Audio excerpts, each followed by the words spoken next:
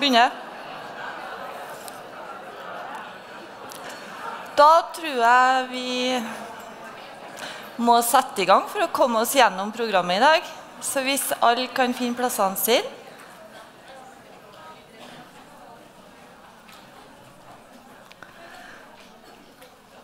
Da er alle på vei mot å finne en plass. Det er bra. Hjertelig velkommen alle sammen til dag to med mot og muligheter. Navnet mitt er Kristin Eggen. Til daglig er jeg avdelingssykepleier på rehabiliteringsavdelinga på Sykehuset Levanger. Men i dag er oppgaven min å lede oss gjennom dette programmet, som er bredt som det var i går, og som jo gjenspeiler rehabiliteringsfeltet.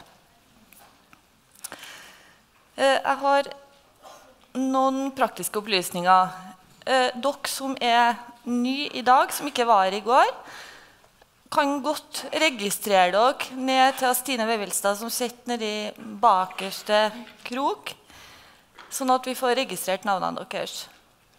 Og så kan dere godt se på nødutgangene sånn at dere har dem greie i tilfelle.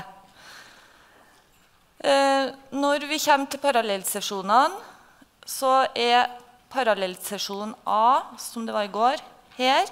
Og parallellsesjon B, som òg var i går, opp i andre etasje. Og for dere som er nye, da, så går dere ut mot resepsjonen, men tar til venstre like før resepsjonen. Da er det heis eller trapp opp til andre etasje. Og så går dere til venstre, så finner dere Hell, tror jeg salen heter. Men da skal vi over til dagens program. Som i går så er dagen i dag òg legger vi vekt på verdigrunnlaget vårt. Men vi starter med nasjonale føringer. Vi starter med rammene og premissene som vi har for å drive rehabilitering på den måten vi skal og kan framover i tid. Så vi ønska å invitere Helsedirektoratet hit. Og vi fikk et positivt svar. Og vi fikk et forslag til tittel som gikk på tiltak for å styrke habilitering og rehabilitering nasjonale tiltak for å styrke habilitering og rehabilitering. Og Den tittelen varma et rehabiliteringshjerte, og det skaper forventninger. Så jeg sier hjertelig velkommen til deg, seniorrådgiver i Helsedirektoratet, Åse Jofrid Sørby. Vær så god. Tusen takk. Eh, jeg får begynne med å takke for invitasjonen. Og så vil jeg òg takke for en kjempeflott dag i går. Eh, når jeg så programmet, så spurte jeg sjefen min om jeg ikke kunne få dra en dag før for å høre på det, og det er jeg kjempeglad for. Eh, og det var en hyggelig middag. Eh, og så våknet jeg en natt, og så tenkte jeg ja, hva er det nå jeg gjør her, da? I forhold til det som ble sagt i går. Og da fant jeg ut at det må vel være en sånn selvinstruering i forhold til ACT, blant annet. så, men nå står jeg nå her. Eh, I det opprinnelige programmet så var det vel eh, sto nok veileder, ny veileder som hovedtema. Men det skjer mye. Og eh, mange forskjellige prosesser. Og i forbindelse med rehabiliteringsuka så har vi da eh, bestemt at eh, nasjonale tiltak for styrking av habilitering og rehabilitering skal være tema. Det betyr at jeg kommer til å gå kort gjennom litt forskjellige ting som skjer. Men jeg starter med å ta et litt mer overordnet perspektiv. Men jeg skal først si litt om altså, hva, disposisjon. Hvor er vi internasjonalt perspektiv? Det var det jeg mente med det overordna. Og så nasjonale tiltak som er på gang. Og så har vi hatt eh, en undersøkelse og en Questback, som jeg vil si litt om resultatet av. Og så så det nok at det lå et ark foran det når det kom. Og det er fordi at eh, nå i eh, uka som var, så fikk vi en utfordring eller en bestilling i forhold til at Helsedirektoratet skal lage nye nettsider.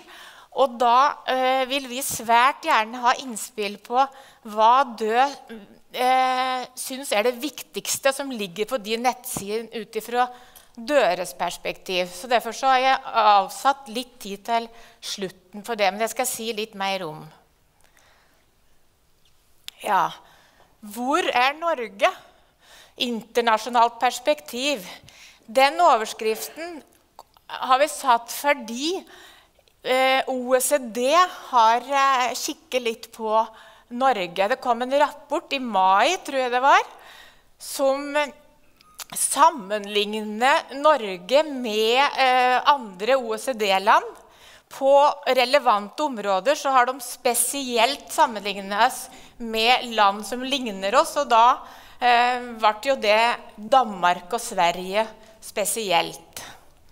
Eh, det står i rapporten at eh, de syns Norge har en imponerende og omfattende helsetjeneste, og at vi leverer gode tjenester til høy kvalitet. Så det er hovedbildet. Men så er det jo eh, sjølsagt noen utfordringer som har resultert i noen råd. Jeg eh, skal lese fort gjennom dem, og da vil du se at ganske mye eh, berører rehabiliteringsfeltet. Etablere mer robust, robust kvalitetssikring, styrke tilsynet og innføre resertifisering, eventuelt akkrediteringsordninger. Styrke arbeidet med informasjon, både innhenting og formidling av data om aktivitet og resultat. Utvikle pasientsikkerhetsrutiner i primærhelsetjenesten Utvikle finansieringsordninger som fremmer god kvalitet. Eh, det er vel et eh, veldig aktuelt område på rehabilitering. Bedre koordinering og økt bruk av individuell plan for personer med omfattende hjelpebehov. Det er òg veldig relevant. Organisere fastleger tettere inn i de kommunale tjenester. Bedre kommunikasjon mellom aktører i helse- og omsorgstjenesten og økt bruk av IKT. Så her kommer jo samhandlingen inn. Og det gjør det òg i neste punkt. Følge opp avtalene mellom kommuner og HF, HF-ene om samhandling. Og så økt satsing på mental helse. Ja, så eh, er det jo sjølsagt da en påfølgende drøfting på hva er det vi da skal gjøre bedre. Er det bedre brukermedvirkning? Skal en satse på uh, utvikling av bedre samhandling og koordinering av tjenester? Er det kapasiteten? I så fall, hvilke tjenester skal en styrke kapasiteten?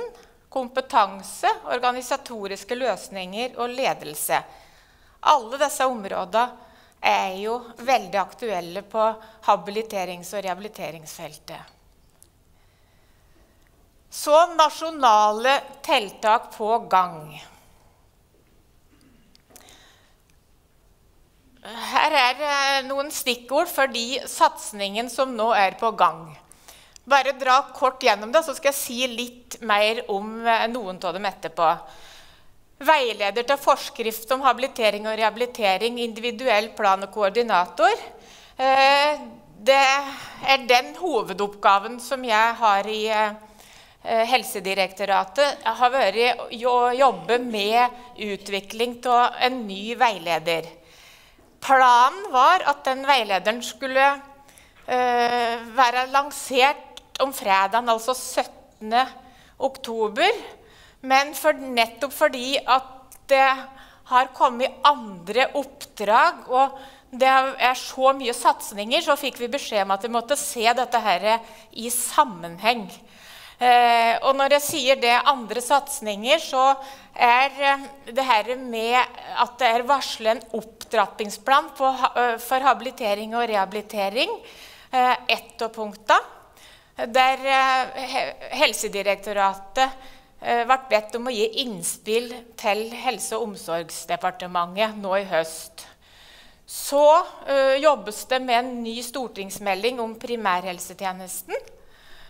Uh, og en nasjonal helse- og sykehusplan. Så til sammen på de to punktene så uh, innebærer jo det en, nær sagt en gjennomgang og en planlegging av hele helsetjenesten vår. Det er varslet en egen opptrappingsplan på rus som hovedsatsingsområde, men med psykisk helse eh, i tillegg. Eh, det kommer en ny stortingsmelding om folkehelsa. Og så er det NCD, altså i forhold til de fire store kroniske lidelser, ikke smittsomme sykdommer, eh, en strategi fra 2013 til 2017. Eh, det pågår en, eh, en revidering av prioriteringsveiledere for eh, spesialisthelsetjenesten og revidering av retningslinjer for behandling og rehabilitering av hjerneslag. Utvikling av kvalitetsindikatorer.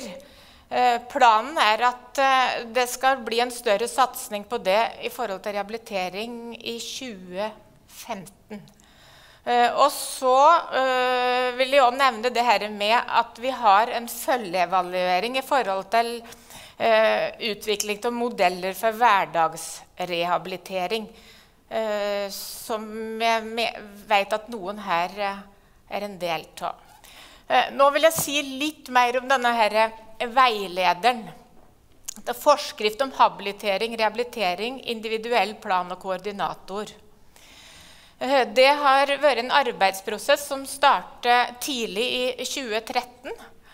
Eh, og det ble eh, sammensatt ei, brei, ei referansegruppe, bredt sammensatt av brukerorganisasjoner, fagorganisasjoner, kommune, helseforetak Ja, mange aktører. Steinar Gjerde ifra, som vel nå har jeg skjønt har skiftet stilling, men har vært regionalt koordinerende enhet her, har vært én av de som har sittet i den referansegruppa. Uh,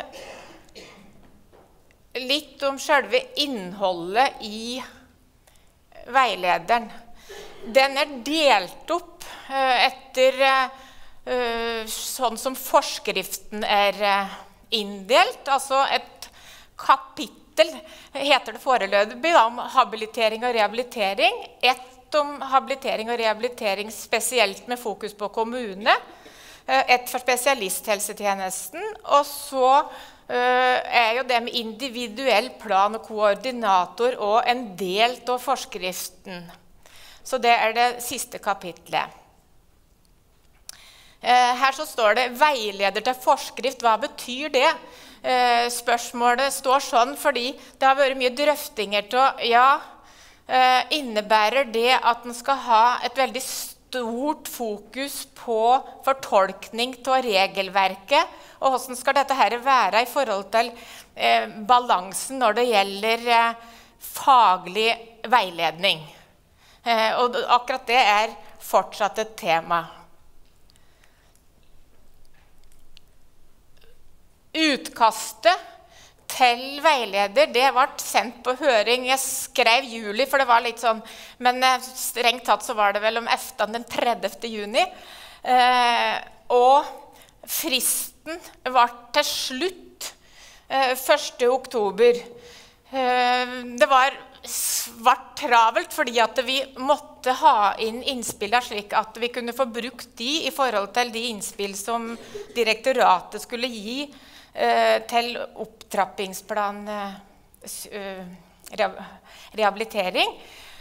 Eh, men så fikk vi såpass sterke anmodninger om å utsette fristen, sånn at vi satte én frist til 1.9. Sa at hvis en ville eller hadde som uh, siktemål samtidig å kunne gi innspill til opptrappingsplan. Altså at vi skulle kunne ta med innspillene vi fikk i den jobben. Så måtte vi ha det til 1.9. Og så satte vi en frist for resten til 1. oktober. Dette er ikke så farlig nå.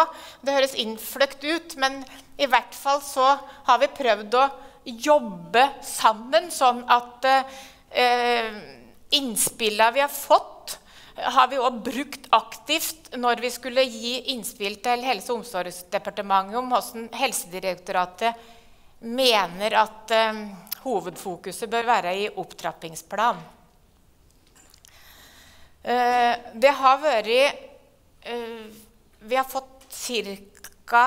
80 eh, høringsinnspill. En god del fra spesialisthelsetjenesten, mange fra kommuner, fagorganisasjoner osv.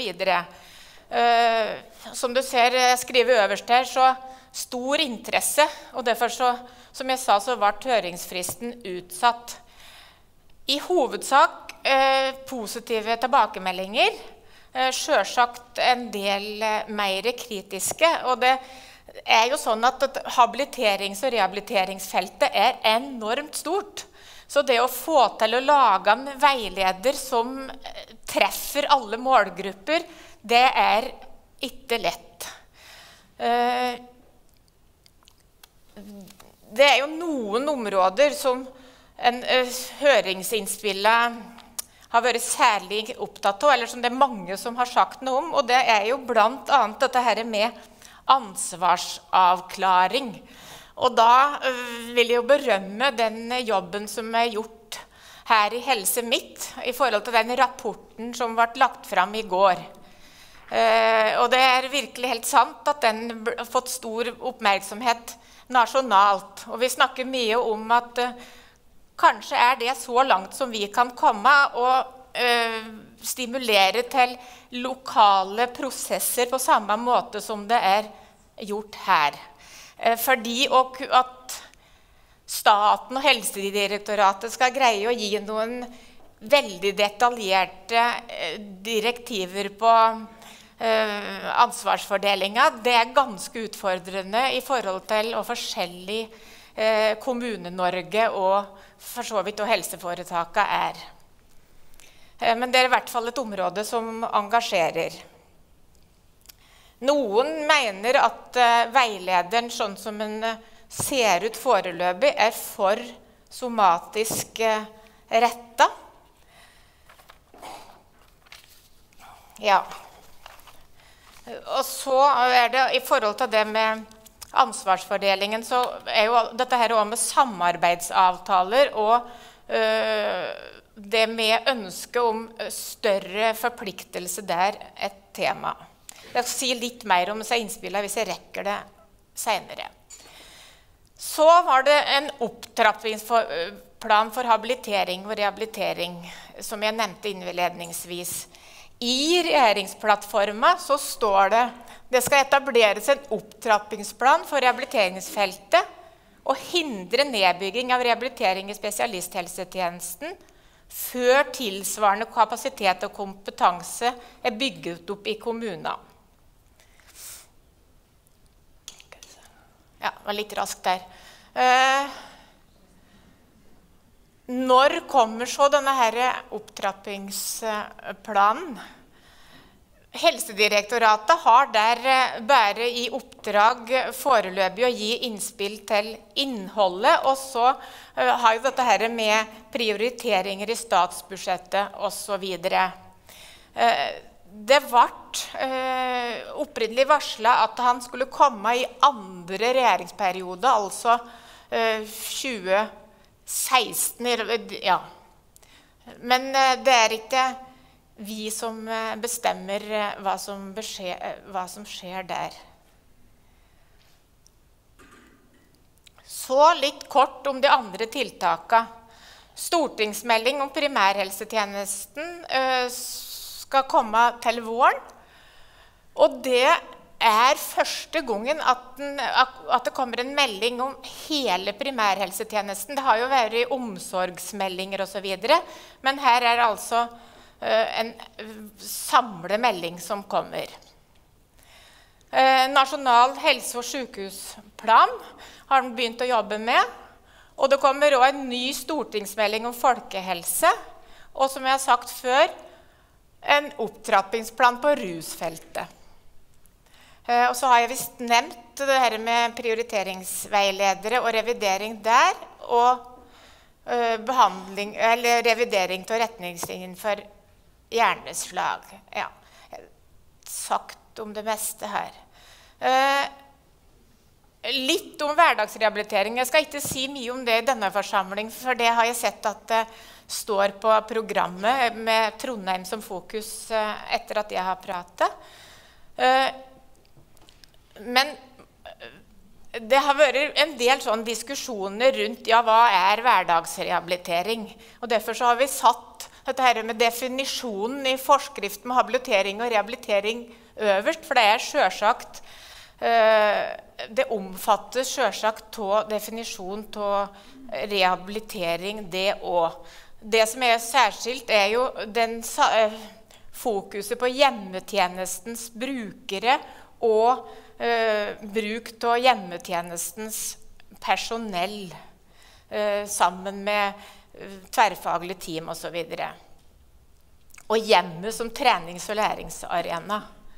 Eh, men jeg vil si litt om altså, I fjor så var det 39 eh, kommuner som fikk tilskudd.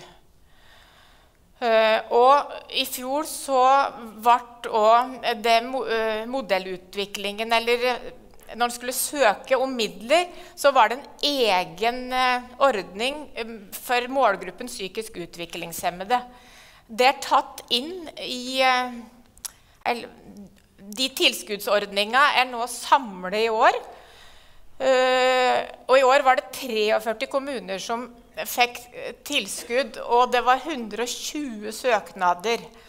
Jeg sier dette så detaljert fordi at eh, i og med at det skulle være en følgeevaluering, så var det naturlig at de som fikk tilskudd i, år, fikk fortsette, i fjor, fikk fortsette i år.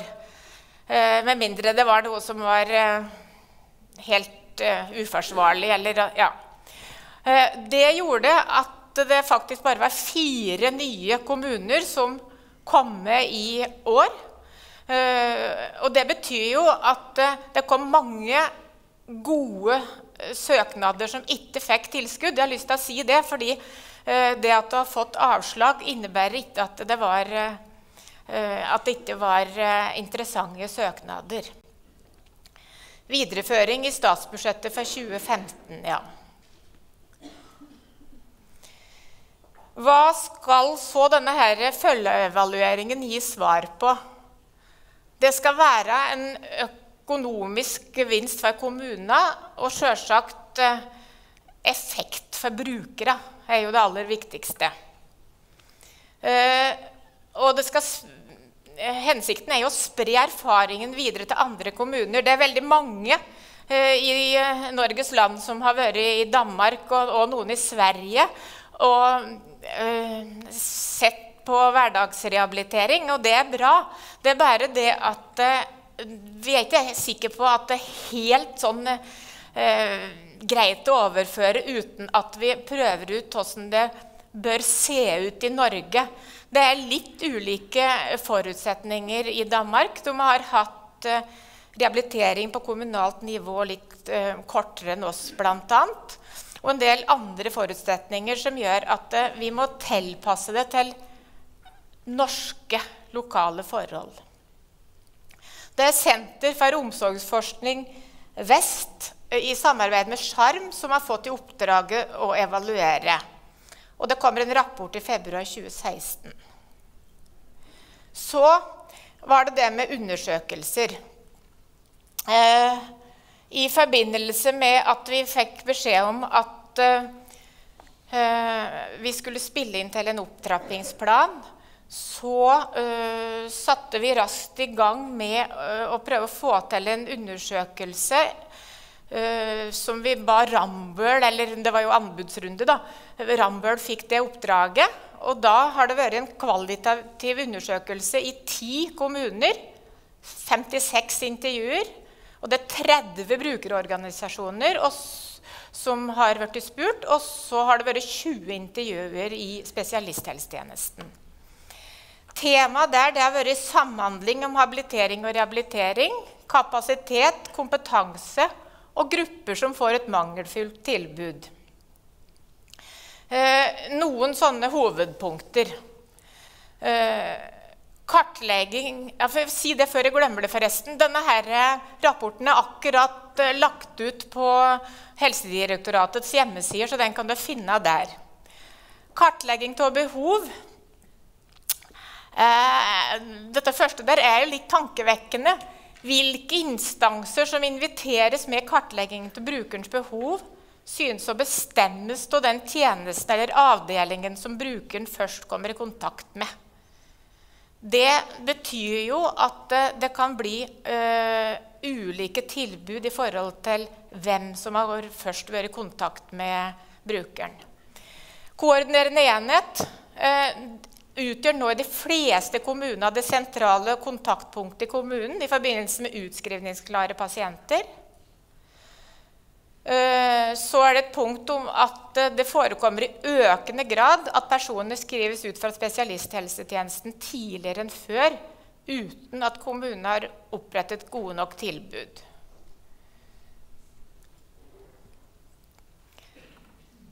Så øh, er det fokus på samhandlingsavtale her òg, som sier at de ser ut til å være på plass men kan oppfattes som for lite konkrete i enkeltsaker. Eh, behov for større konkretiseringsnivå, akkurat som eh, det er sagt i høringsinnspillet til veilederen. Så eh, blir det sagt at i enkelte medisinske rehabiliteringsavdelinger kan det være for lite fokus på rehabilitering, og noe som gjør at den kommer seinere i gang enn den burde med rehabiliteringsprosessen. Kompetanse. Dette er helt i samsvar med det vi hørte i går. Jeg husker ikke helt om det var i forhold til presentasjonen rapporten Helse Midt, eller eh, når det var, men det at det er mangler knytta til faggrupper som logoped, psykolog, ergoterapeut, syns- og hørselspedagog. Behov for å styrke kompetansen knytta til eh, koordinatorrollen var også nevnt i går. Eh, behov for å styrke kompetansen og kognitiv rehabilitering og ivaretakelse av psykisk helse. Eh, det blir sagt i denne rapporten at det stort sett er tilgang på nødvendig kompetanse i spesialisthelsetjenesten, men at det kan mangle i forhold til logoped og fysioterapeut ernæringsfysiolog og nevropsykolog.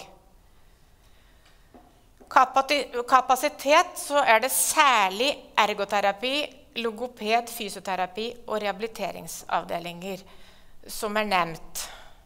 Eh, og så ja, Det er for kommune. Og så i spesialisthelsetjenesten så er det fokus på dette her med å drive, muligheten til å drive ambulant virksomhet. Og det sa jeg ikke i stad, men det er vel kanskje eh, det som det er mest, aller mest fokus på i høringssvarene våre, så er det det her med ambulant virksomhet. Lange ventelister, ja. Mangelfullt tilbud. I denne rapporten så ble følgende grupper særlig pekt på. Uh, mennesker med sansetap, med utviklingshemming, med kognitive skader og utfall, og uh, med behov for langvarig oppfølging eller reopplæring og ungdom. Uh, tida går fort, så jeg får prøve å prate raskt. så sa jeg vel at det òg er gjennomført en Questback. Det ble gjennomført telefonintervju til alle landets kommuner, var intensjon. Og det var altså koordinerende enhet som fikk den eh, henvendelsen. Nei, ikke, nei, han ble sendt ut, så sier jeg vel feil. Kanskje du vet det best, det som er Ja. Eh, der var òg koordinerende enhet én av fokusa. organisasjonsform og forankring. Uh, og nå er det altså, ifølge denne her Questbecken, 4% som har en egen organisatorisk enhet. Det er 40 lagt av enhet som har andre oppgaver. Og det er 28% som har koordinerende enhet organisert som team. Uh, ja. Ca. 50% har nå koordinerende enhet lagt over tjenesteytende nivå. Med det mener jeg altså uh, nærmere rådmannsnivået. Det er kjempestor variasjon i stillingsressursen. Helt ned til 5 som det står, og opp til 8 stillinger. Uh, det uh, ble bedt om å rangere fra én eh, til fem i hvilken grad koordinerende enhet ivaretok de forskjellige oppgavene. Og det en ser, det er at uh, langt de fleste nå ivaretar dette her med, med individuell plan og koordinator og at den har en god oversikt over tilbuda i spesialist og i kommune. Eh, det med melding om behov for habilitering og rehabilitering eh, er det litt mer forbedringspotensial på. Men det var ingen som skårte lavere enn 3,4. Jeg går ikke detaljert inn på dette her nå. Eh, men vil heller si litt om andre funn i denne undersøkelsen. Fordi det viser seg ifølge denne eh, undersøkelsen at det er over halvparten av kommuner som ikke har rutiner for tverrfaglig kartlegging av brukerens behov for habilitering og rehabilitering. Så der er det et kjempeforbedringspotensial, og vi vurderer det som et veldig viktig område. Det er 15% som har egen rehabiliteringsinstitusjon av kommuner. Uh, ja, Jeg behøver kanskje ikke å ta alt disse her uh, Det er 5% som ikke har tilbud i institusjonen i det hele tatt.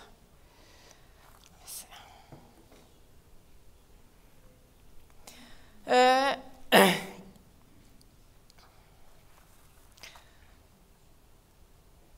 ja, og der med kanskje si 40 49% har da tverrfaglige team. Dette her med kartlegging av behov og uh, tverrfaglig kartlegging og det med tverrfaglig uh, team er noe som uh, Helsedirektoratet har lagt ganske stor vekt på. 24% har egen virksomhet innen habilitering, altså der habiliteringsområdet eh, er eh, adskilt eller har et eget eh, fagområde. Eh, det kan hende at jeg noen gang nå har sagt habilitering og rehabilitering, og noen gang rehabilitering. Og det er fordi at eh, noen rapporter har hatt bare rehabilitering som eh, fokusområde. I dette her, Eh, regjeringsplattformen så står det òg eh, rehabilitering. Men opptrappingsplanen skal omfatte både habilitering og rehabilitering. Eh, det er ganske mange høringsinnspill i forhold til veilederen som er opptatt av det her med å få synliggjort habilitering bedre. Ja. Nå blir det gjort sånn i Eh, i forhold til at tida eh, går. Eh, egentlig så har jeg dratt raskt gjennom nå, og så har jeg tenkt at vi skal ha litt tid akkurat til oss, dette her med nettsider og svare på det. Men vi har noen få minutter att, Så er det noen som Jeg vet at det er en stor sal, men hvis det er noe som er spesielt uklart, eller noe det Eh, vil spørre meg om, så kan du rope høyt. Eller noe jeg vil gå tilbake til.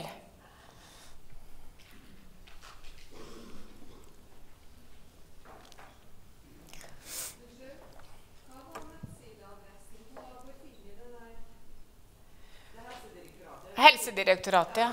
VV. Hæ? Til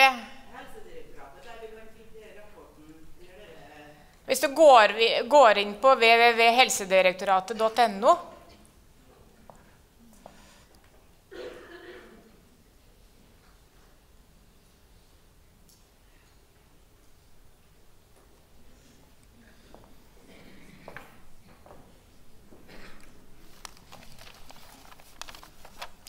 Eh, jeg har ikke sagt noe om eh, tidspunkt for ferdigstillelse av veilederen. Eh, og det har jeg vel egentlig forventa at mange ville spørre om. Og det må jeg være ærlig og si at tidspunktet, det vet jeg ikke helt. Vi har begynt og skal intensivere jobben med å integrere høringsinnspillene. Og så er det jo sånn at denne veilederen skal være webbasert. Og når vi ikke eh, Kommunikasjonsavdelingen hos oss eh, At vi ikke kunne bruke den planen vi hadde, så kan det være at det blir noe utfordringer der i forhold til eh, at de skal hjelpe oss. Men eh, jeg får bare si så fort som mulig. det, jeg er klar over at det er veldig diffust, men sånn er det. Ja. Men da Hvis det ikke er noen flere spørsmål Ja?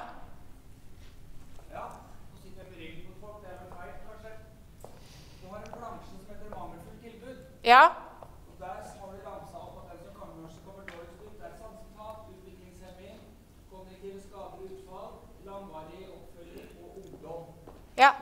Eh, vi er som brukere er vel til å ta vare på våre egne eh, områder, så jeg spør i forhold til sansetap. Ja, hvorfor, ja tror, hvorfor tror du sansetap kommer så dårlig ut? Hvorfor det tilbudet er mangelfullt? Ja. Nei, jeg kjenner ikke historien godt nok.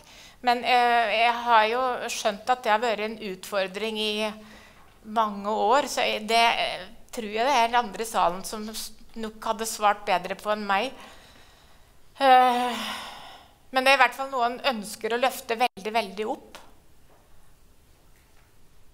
Ja, det, det, er godt å høre, fordi at det fins et svært omfattende rehabiliterings- og habiliteringstilbud for f.eks. både syn og hørsel. Ja. Eh, og vi må bare få løfta det fram. Takk. Det Ja. var det jeg lurte på. Ja. Nei, for det, jeg, jeg har jo sett det i forhold til at jeg har den vanlige jobben min i kommunen, og at det der har blitt litt borte. Ja. Men da så lurer jeg på om i hvert fall de som vil, eh, fyller ut dette her skjemaet jeg har lagt i forhold til eh, hva du mener er det viktigste eh, som du vil eh, at skal være på Helsedirektoratets nettsider. Hva er det du tenker at du vil eh, gå inn der og se på først og fremst? Her, du kan bare skrive det rett ned. Det behøver det som kommer eh, fort, fort og gærent, holdt jeg på å si. Det er antagelig det som er mest nærliggende. Eh, så tenkte jeg at eh, du bare kunne legge svarene deres eh, borte ved døra der eh, når det gikk i pause eh, etterpå i dag. Mm. For det, det er veldig fint for oss for å få hjelp, for vi kan sitte og tenke ut mye lurt, vi som er byråkrater, men eh, det er du som kjenner henne, hva som er viktig. Ja. Yes, da tror jeg at jeg vil eh, si takk.